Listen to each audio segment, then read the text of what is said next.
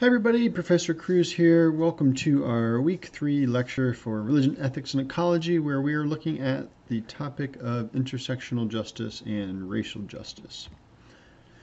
So we uh, have our final week of topics, and we begin our week with celebration of Dr. Martin Luther King Jr. Uh, Monday, the 18th of January 2021, being MLK Jr. Day, holiday celebration about this individual who played a important role in civil rights struggle. And that's one of the reasons that I had us begin this week by reading his 1963 letter from Birmingham jail that he wrote while he was arrested as part of the Alabama civil rights movement in Birmingham that many of you may be familiar with from your high school history lessons. And in particular, we're thinking about what are the political and moral and ethical dimensions of Dr. King's work in this letter and other things that we read for this week, and uh, why are they important. So you'll remember, brief context, Dr. King is writing this letter um, in jail after he's been arrested in response to a letter from um, eight white church leaders in the South who were critical of Dr. King and the lunch counter and other protests that have been going on not just in Birmingham, um, but in the South in general in this period. And so his letter is laying out sort of a series of responses to the critiques that these church leaders had made and provide many useful insights for some of the questions that we've been wrestling with. So, one of the, the first kind of key things I want to highlight from his letter is this idea that Dr. King rejects the sort of the idea of waiting, or this argument that um, civil rights movement, civil rights leaders are sort of moving too fast and they need to wait. And to that argument, Dr. King says, there comes a time when the cup of endurance runs over and men are no longer willing to be plunged into an abyss of injustice. And he says this in the context of this sort of long discussion about why um, blacks, not just in the South, but in America in general, are tired of this constant refrain they hear from whites that they just need to wait and be patient and things will change. And in fact, he argues that this um, belief in what he calls the myth of time, particularly among um, white moderates, such as these church leaders, are actually, in some ways, he argues, worse than the kind of open white supremacist people that were in the um, Ku Klux Klan or Citizens Council and other sort of white supremacist groups that were operating across the South at this time, uh, attacking Uh, civil rights movement leaders and general participants. And he says this because what he's arguing is that it's much easier to know who is opposed to you because they're openly condemning what you're doing versus someone who says, Well, I believe and support what you're doing, but, and then offers all these qualifications. You should wait, it's too soon, your tactics are wrong. And he is responding to that kind of wait argument. Now, importantly, Dr. King also argues, and this is probably one of his most famous quotes that you see on bumper stickers and billboards and all over the place, which is injustice anywhere is a threat to justice everywhere. And in making this comment, King is responding to this critique in this letter that he and others are essentially outside agitators who've come into the sort of Birmingham community and are now raising a ruckus. And his response is first to say that the Southern Christian Leadership Council actually has long standing roots in all of the southern states.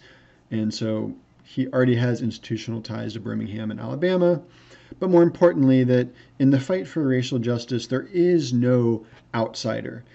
As an American, everyone, regardless of where you live, has a vested interest in fighting for a more um, racially equal and just society. And so, therefore, critiques that he and others in the civil rights movement are sort of outside agitators, he says really is uh, doesn't hold any water as an argument. Now, a third argument he makes that is particularly fascinating for our discussions um, in this class and thinking more broadly about ethics in society and politics and ethics. So, Dr. King says there are two types of laws there are just laws and there are unjust laws. Now, he says a just law is a man made code that squares with a moral law or what he calls the law of God, whereas an unjust law is a code that is out of harmony with the moral law. So, as he says, any law that uplifts humanity and human person sorry that uplifts human personality is just. Any law that degrades human personality is unjust. And then King goes on shortly after in his letter to add that there are some instances when a law is just on its face, but unjust in its application.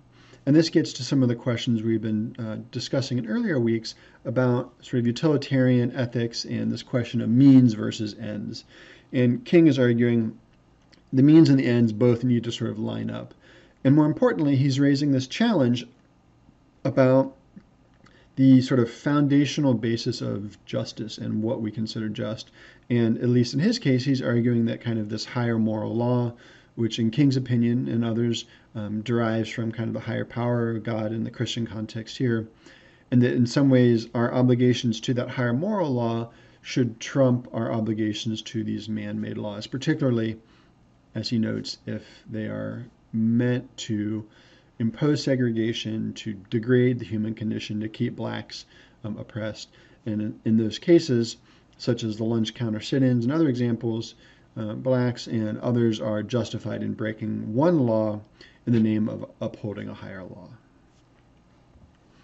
Now, Dr. King also argues that oppressed people cannot remain oppressed forever, and that this urge for freedom will eventually come out. And this gets to sort of social changes that were taking place at that time in the 60s um, through both kind of nonviolent protests and the kind of direct actions that the civil rights uh, sort of movement was most known for, as well as kind of the emergence of more confrontational um, black nationalist, black power movements we see with the Black Panthers, uh, Malcolm X, and others, as well as sort of the emerging context of urban uprisings or urban riots, as they're often referred to at the time. And so he's sort of responding to this sort of broader arc of what's going on um, around the United States in the early 60s when he's writing this letter. And I think we can certainly say that the questions he's reflecting on there are in as or more pressing today um, than they are than they were when he was writing this. If we think about, you know, this past year with the Black Lives Matter movement and the recent insurrection we saw by white supremacists and their friends and allies in D.C. on January 6th these all speak to this kind of tension between nonviolent political action and more kind of militant confrontational action and how you mediate the two and the underlying causes that lead to um, one or another form of those kind of politics emerging. Now, this is where uh, Dr. King offers an interesting analysis that doesn't get talked about as much in kind of traditional glosses on uh, Dr. King, which is that he asks us to rethink this label or this term extremist or extremism um, which is you know often used as a way to kind of shut down political dialogue and discourse. And so he says, so the question is not whether we will be extremists, but what kind of extremists we will be. Will we be extremists for hate or will we be extremists for love? Will we be extremists for the preservation of injustice or will we be extremists for the cause of justice? And so he's asking us to kind of rethink what is the sort of defining criteria for how we measure what an extreme action might be. Now, as I said, Dr. King is responding to kind of Southern church leaders initially um, in his letter. That's kind of impetus for why he's writing. And he also kind of calls out these church leaders, both for their, uh, you know, to be honest, their lack of spine, and also for their lack of what he considers kind of ethical or moral commitments to this broader struggle for justice.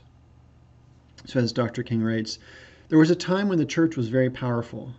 But now the church is so often a weak, ineffectual voice with an uncertain sound. It is so often the arch supporter of the status quo. And so here he's really trying to play out this tension, thinking about, for those of you that know a little bit about early church history, there's kind of the idea that wherever early groups of Christians gathered, they were seen as disturbers of the peace, and they were run out of town by, in some cases, Jewish authorities, but more often Roman authorities in the earlier period prior to, you know, Constantine and the sort of legalization and adoption of Christianity by the Roman Empire. And so he says, you know, we've gone from this moment of Christianity being sort of a threatening uh, idea and power in society to kind of an upholder of the status quo, and in the Southern context, an upholder of kind of white Southern um, sort of racial superiority and racial segregation. And one of the other things that this letter sort of really rubs Dr. King the wrong way is the sort of thanking of the police and law enforcement communities in Birmingham for their kind of good job of, uh, you know, maintaining law and order and preventing violence. But uh, King's response is basically that, sorry, I, I'm not on the same page with you about thanking the police for doing a great job here because we're on the receiving end of that great job um, of your police, Bull Connor and others.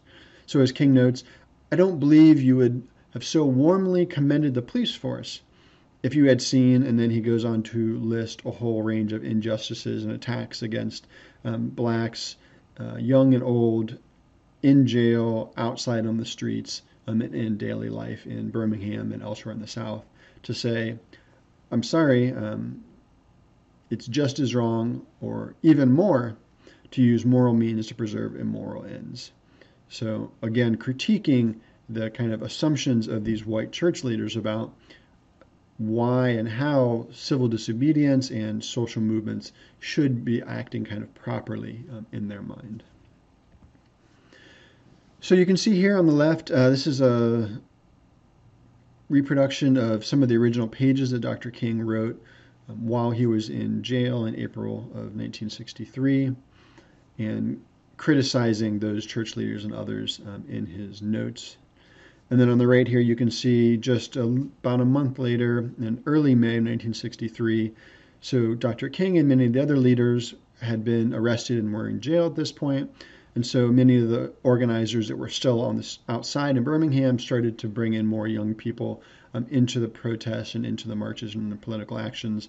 And this is when Bull Connor, who was the police commissioner there in Birmingham at the time, um, brings out fire hydrant, uh, attacks on people, dogs on people, and um, some of the iconic images like this um, from that summer 1963 that then sparked the kind of public outcry that led that following year, 1964, to the passage of the Civil Rights Act, and then in 1965 with the Voting Rights Act. So we're kind of seeing these important moments of history um, unfolding and thinking through you know, how Dr. King, as one of the many leaders at this time was thinking about these challenges.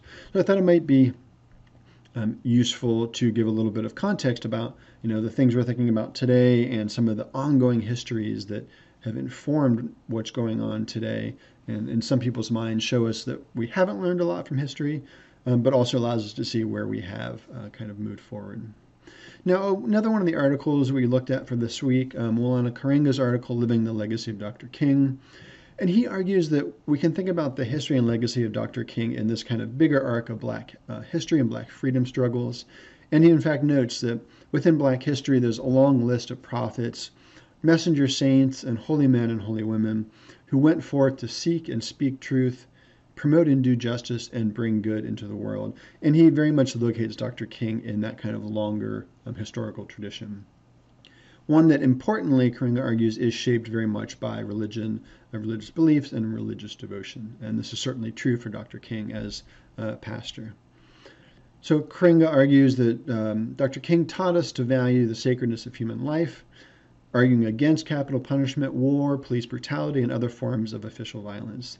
He taught us to love peace, cherish freedom, pursue justice, and sacrifice for them. Now, Karenga also highlights in this piece Dr. King's claim that we have both a moral right and a responsibility to resist evil, which includes disobeying the established order and its unjust laws. Right? We saw Dr. King referring to this in the letter from Birmingham jail. And Karenga goes on, thus when a man-made law conflicts with moral law and reasoning, we have not only the right but the responsibility to resist it. So this goes again to that tension between just and unjust laws. Not only how do we know them, but also uh, sort of what is our moral duty in the face of injustice? Do we sort of hold the line that you know this is the law and I have to respect it, or do we break that law in the service of some higher calling? And we've certainly seen these ethical tensions playing out between law breaking on one hand and law enforcement on the other. Um, this past year with Black Lives Matter debates and with other protests, where this question of um, is, and this goes to the kind of the heart of civil disobedience that Dr. King was advocating. You know, is it morally just to break a law in order to uphold kind of this higher social good, this natural or moral law, um, as King called it? Now, Karenga also highlights Dr. King's claim that to ignore evil is to become an accomplice to it. So this gets back to again to um, King's critique of these white church leaders who were unwilling to really kind of put their skin in the game when it came to supporting the civil rights struggle in the South. Now, Karenga also argues that religion must have a social role as well as a spiritual one. And this is something that was very important for Dr. King. The fusing um, of these two for him were always kind of part of how he thought about the world. Um, it was very hard, although you can certainly see it, um, but for Dr. King to separate out how his religion um, shaped his views and what was or wasn't uh, sort of a religious ethic versus a political um, or moral ethic. And then Karenga also reminds us of the centrality of struggle, not only um, to free ourselves, but also to what he describes as build and sustain the beloved community or good world. A beloved community of humanity based on mutual respect, nonviolence, peace, justice, and cooperation for common good. And this was certainly a key you know, idea behind much of Dr. King's work, and this became in some ways more pronounced in the last few years of his life as he moved from kind of uh, a more intentional focus on uh, race and the civil rights movement to this kind of broader focus on issues of um, social and economic justice that would lead to um, things like the Poor People's Campaign in 1967, which we'll talk about in just a minute.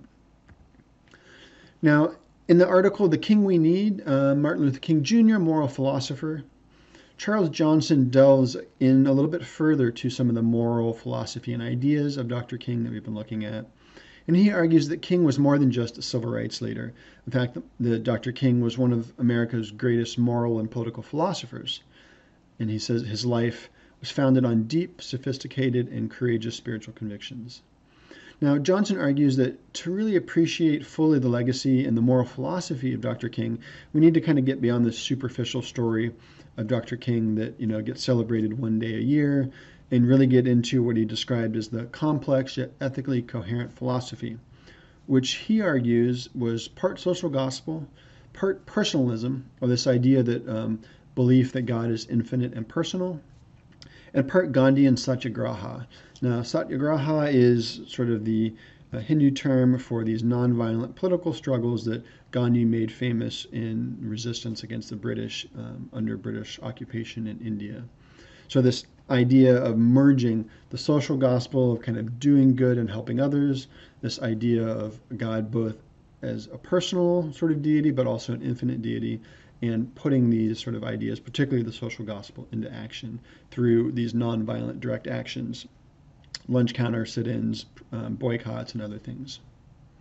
Now, Johnson also calls special attention to one of Dr. King's uh, most important but lesser known sermons, from February 4th, 1968, which was the drum major instinct. This is um, one of, if not the last sermon that Dr. King gave before he was assassinated. And, and in that, Dr. King argued that we have to resist the tendency to want to be out front in the spotlight, to be, you know, always seen and heard kind of in the limelight, have our, you know, 60 seconds of fame as the drum major would be um, out in the field. And instead, King argues, well, that kind of um, what we call that tendency or that desire to want to be seen is okay, but what we should strive for first is to be first in love. So he says, I want you to be first in moral excellence. I want you to be first in generosity. That's what I want you to do. And as Johnson goes on to argue, part of what he believes is the wide appeal of Dr. King was precisely that King's ethical values were reflected in how he lived his life. So he walked the talk, um, as we might say. Johnson argues if moral authority is based on moral consistency, then the above statement, which King felt encapsulated his life's primary work and vision, which is this kind of drum major instinct, demonstrates why the liberal theologian became a leader admired by all Americans and world citizens of goodwill, for he lived his own advice. I want to say that I was a drum major. Say that I was a drum major for justice. Say that I was a drum major for peace. I was a drum major for righteousness. And all of the other shallow things will not matter. I won't have any money to leave behind. I won't have the fine and luxurious things of life to leave behind, but I just want to leave a committed life behind. And that's all I want to say. We often think of Martin Luther King Jr. as a great civil rights leader and activist, and he was. But first and foremost, until his death, he was preacher of the gospel. He was a minister. And he uses this message to reframe uh, how we think about the good life, how we think about success. And Jesus uh, becomes an example in the text. Someone who did not have a lot of prominence, was born impoverished, uh, did not have uh, many uh, accolades in terms of temple authorities or Roman officials. Uh, but Jesus taught that the greatest among us is those who are those who are able to serve all of us. And so King uses that to say everybody has the capacity to be great because we all have the capacity to serve. All one needs is a heart full of grace and a soul that's generated by love. And we too can be great. So Charles Johnson also argues in looking at these speeches from Dr. King and his sort of the broader arc of his life that we can discern three kind of distinct phases of Dr. King's um, political activity and um, role in the civil rights movement. And he describes the first stage as nonviolence as the way. So, in this initial phase of King's public life, Johnson argues that his core beliefs could be kind of summed up in three, quote, transcendently profound theses, um, which Johnson describes as follows. And the first is the idea of nonviolence, both in word and deed, and that it's not just a protest strategy, but it's what King called a way, a daily praxis, where people must strive to translate into each and every one of their deeds. So this is very much um, the idea of living the walk that many people believe Dr. King was a really good example of um, putting into practice. Um, the second of these theses that Johnson talks about is that King encouraged everyone to practice agape, or this sort of radical love, or the ability to unconditionally love something, not for what it currently is, but instead for what it could become. It's kind of uh, telos, if you will, going back to some earlier conversations. And so, you know, this very much gets to the heart of Dr. King's willingness to try to, you know, find common ground, even with the most kind of extreme um, white Southern segregationist, in order to try to find sort of a path forward um, for civil rights. And then finally, he argues the third, kind of third important thesis that underlined King's public life was that King understood the ways in which we're all interconnected and interdependent. And it really boils down to this that all life is interrelated. Now, Johnson described this idea of King's, this kind of we relation, as he calls it, um, as really being at the heart of King's moral philosophy because it involved a recognition that quote, moves us to feel a profound indebtedness to our fellow men and women, predecessors and ancestors, end quote. And this was really the period when Dr. King was rising through the ranks of the civil rights movement in the 50s and early 60s and becoming one of its central leaders, um, which by the time he reaches the age of uh, 34 in 1964, um, he is given the Nobel Peace, Nobel Peace Prize um, for his work. Now, Johnson argues that stage two of King's life, or what he calls What Can I Do, uh, was a bit of a midlife crisis for King, even though he hadn't you know, really reached his midlife.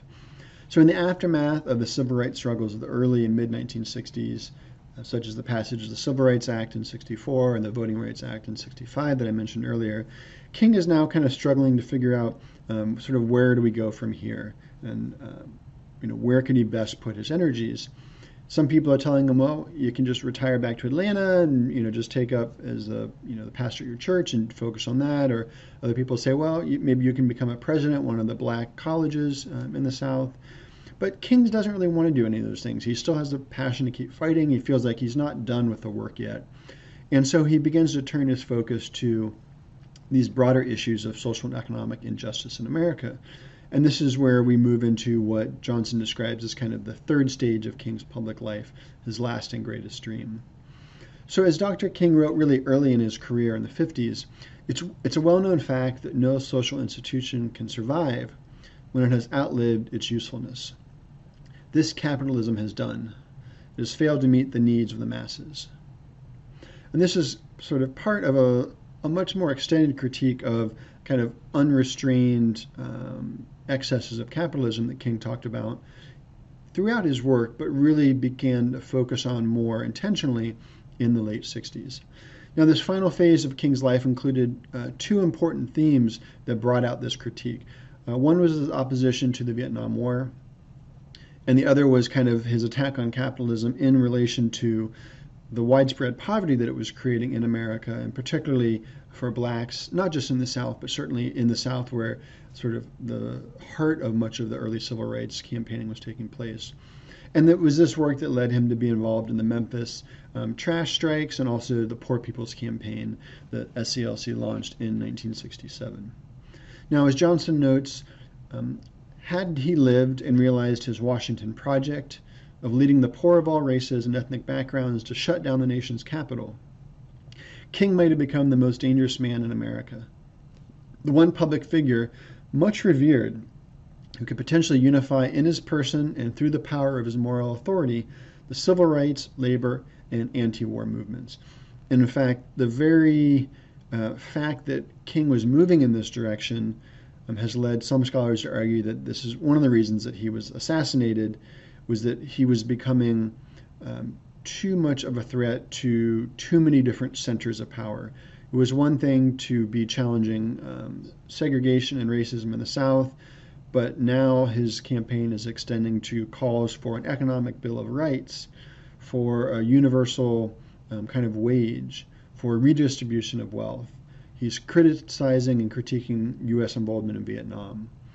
And all of these things are making more and more enemies um, for King on sort of those in positions of power. Now, another one of the documents we read from Dr. King for this week was his 1967 speech to the American Psychological Association, APA, where, unlike some of the other documents that people are familiar with, King is really speaking more to an academic gathering here and social scientists and kind of thinking about the role of social scientists and researchers in both understanding and exposing racism and institutional racism um, in America. So King says, White America needs to understand that it is poisoned to its soul by racism and the understanding needs to be carefully documented and consequently more difficult to reject. The present crisis arises because all that is historically imperative that our society take the next step to equality, we find ourselves psychologically and socially imprisoned. The white majority, unprepared and unwilling to accept radical structural change, is resisting and producing chaos while complaining that there, if there were no chaos, orderly change would come. And so this is, again, going back to 63 and his critique of the white clergymen who are saying, wait, wait, wait, uh, law and order, you're disrupting things. And so he's saying, again, you know, he's speaking to the same critiques here in 67 as he was in 63. And I would argue that those kind of comments from King, you know, delivered many decades ago, are still as applicable today in 2021 as they were in 1967. Now, equally important, particularly given the time period we're in here, King also locates this phenomenon of emerging quote unquote urban riots um, that have been dominating the news in 67 and will continue to um, through the rest of the decade. Um, he locates these within kind of a broader landscape of social injustice, uh, which he says are is produced by whites and maintained by these systems of institutional racism and um, injustice. So, as King says here further on in that statement, the policymakers of the white society have caused the darkness. They have created discrimination. They structured slums and they perpetuate unemployment, ignorance, and poverty. It is uncontestable, it is incontestable and deplorable that Negroes have committed crimes, but they are derivative crimes. They are born of the greater crimes of the white society. Let us say boldly that if the violation of laws by the white man in the slums over the years were calculated and compared with the law breaking of a few days of riots, the hardened criminal would be the white man.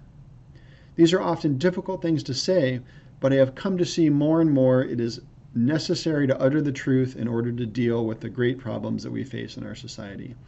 And in fact, King was very adamant that if we cannot have these honest conversations about race in America, we will never be able to face our problems and we will not see fundamental structural changes at least of the kind that he felt we needed. Now, as I mentioned, um, King also highlights his opposition to the Vietnam War and economic inequality, and these are reflected again in this 67 speech to the APA. So, responding to the critics um, who told him, you know, you should avoid this kind of contentious politics, like, you know, you're you're interested in racial equality. Why are you talking about Vietnam and uh, you know communism and capitalism? Those are things you know you should stay out of those, Dr. King, basically. And his response to that was, um, our conscience, our conscience must ask the question, is it right? And there comes a time when one must take a stand that is neither safe, nor politic, nor popular. But one must take it because it is right. And that is where I find myself today. And in a sense, what he's saying to his critics is look, I can't just kind of draw this artificial boundary around, let's say, the Vietnam War or economic inequality and pretend like it doesn't connect to racism or to militarism or to imperialism.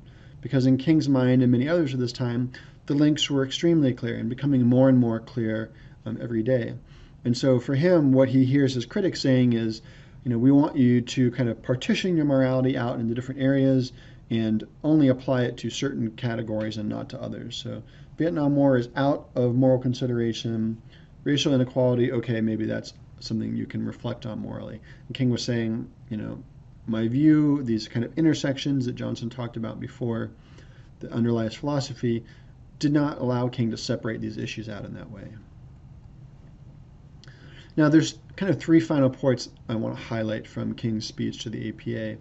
Um, the first is that Dr. King stressed the importance of civil disobedience in moral struggles for justice because he saw this as the middle path between sort of passivity and inaction on one hand and violence and um, sort of the breakdown of society on the other.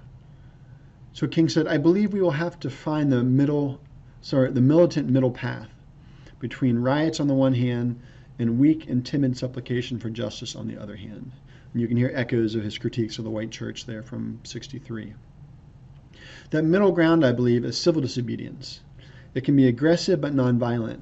It can dislocate but not destroy.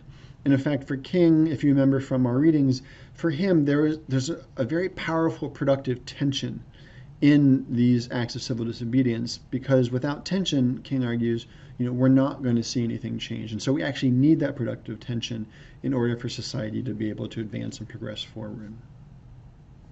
Now, secondly, Dr. King stresses the importance of understanding the role of voting in black politics and social change, and argues that one thing that social scientists can help bring to the table is to help us gain a clear picture of the moral power of electoral politics. So at this time, there was a debate going on about okay, so there's a lot of energy and time being spent by civil rights organizers and leaders to get um, blacks registered, to get people of color registered, to get people um, out and trying to vote and use kind of those um, civic electoral politics. And some people thought, well, these aren't going to change these more fundamental structures of power. Um, and other people thought that they were. And so you kind of have this debate about does voting matter essentially. And we can now see with kind of the benefit of hindsight that you know those electoral gains for blacks and other people of color in the 60s did actually matter a lot and there was a huge amount of white resistance to that happening in the first place. But we can also see that in the context of you know fights today of trying to disenfranchise people of color from voting and the gerrymandering and kind of rigging of electoral districts around racial and economic lines. So those those issues still very much matter today.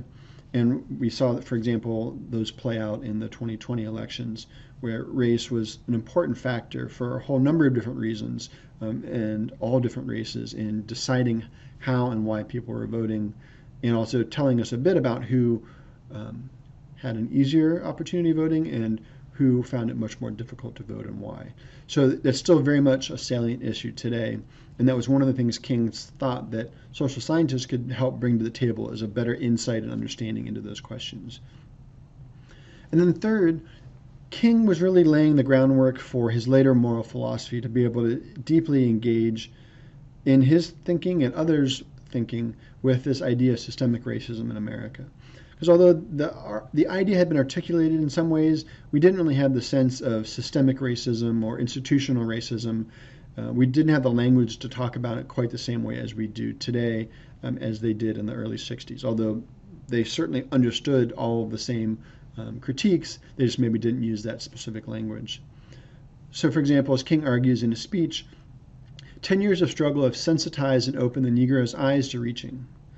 For the first time in their history, Negroes have been aware of the deeper causes for the crudity and cruelty that govern white society's responses to their needs.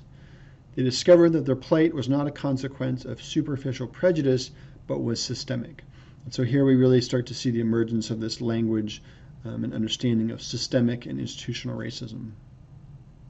And then finally, from this speech, one thing I want to highlight is that Dr. King is speaking to an audience of psychologists, and so he ends on a reflection on the psychological term maladjusted and argues that maybe we want to rethink that term. Um, maybe we need a, an idea of creative maladjustment, he says. And the reason he says this is partly because he's uh, worried about what it is that we're adjusting to, and that maybe that term um, sort of has a negative sense attached to it to describe people who aren't kind of willing to adjust to society. Um, but he wants to push back on that idea and say, well, maybe there are some things about society that we shouldn't be adjusted to because they're wrong. So King says here, I am sure that we will recognize there are some things in our society, some things in our world, to which we should never be adjusted. There are some things concerning which we must always be maladjusted if we are to be people of goodwill. We must never adjust ourselves to racial discrimination and racial segregation. We must never adjust ourselves to religious bigotry. We must never adjust ourselves to economic conditions that take necessities from the many to give luxuries to the few. And so for King, the question is not so much um, should we talk about the language of maladjustment, but rather what uh, what is it that we're trying to get people to adjust to, and are there some things that we don't want to accept and just kind of make normal, that we say normalized. So, in thinking about these reflections, both from Dr. King himself and from other scholars writing about him, there are, I think, a few important lessons that we can take away thinking about how the intersections of religion and ethics and racial justice were playing out then in the 1960s and continuing today, kind of in our current period. And I think first and foremost is that the issues that Dr. King was addressing during the height of the civil rights movement in the 60s are still very much alive today in 2021. And you need look no further than just, uh, you know, last week or uh, recent weeks with the January 6th um, insurrection led by white supremacists, people carrying Confederate flags, um, t shirts making references to Auschwitz, um, and kind of this white ethno nationalist politics that was on clear display for the whole world to see in Washington, D.C.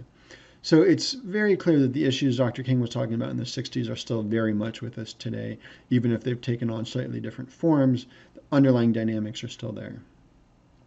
I think the second important point we can take away from thinking about these issues and rereading Dr. King today is that his life and his message was one in which ethics and thinking about and reflecting on doing what was morally right in the fight for racial justice and the fight against racism was really at the core of his belief and he felt should be at the core of all of our ethical beliefs. So for King, these moral obligations were central to who he was and his identity. And for him and for many others during the civil rights period, and for many people still today, those moral convictions were very deeply grounded or are very deeply grounded in uh, faith and religious traditions. And then I think the third uh, sort of takeaway from thinking about these questions in the past and today, both in our readings about Dr. King and other readings about Black Lives Matter movement, and some of the articles about sort of indigenous rights and the intersections of some of these different social justice issues, is that these political issues continue to raise interlocking or intersectional questions about justice and ethics. And these ethical dilemmas and questions are one that we as a nation need to address together. But unfortunately, the burden of that work of sort of racial reconciliation is one that will fall on the shoulders of those of you that are young people today. Um, the generation in power today is still very much resistant to political change, starting to change a little bit, but still um, the institutional establishments are still very much the status quo and reflecting the same challenges that Dr. King faced in his day. So the lessons we take from Dr. King is that the struggle continues and it's one that we can't ever kind of rest on our laurels on because every generation has to continue to push um, the gains of the past forward as well as defending those gains that have been made by previous generations. So I think those are just a few of the important intersections between religion, ethics, and issues of racial justice that we can reflect on today when we think about the legacy of Dr. King and what he taught us. And also, I think it's important to remember that Dr. King's legacy was not just about Dr. King, but it was very much about a moment in time in the 60s. And we are very much living in a similar moment today of great social upheaval and social change, where once again we're being asked to bring a new accounting of ethics and politics to the table. Okay, that wraps up our discussion on religion, ethics, and racial justice for this week.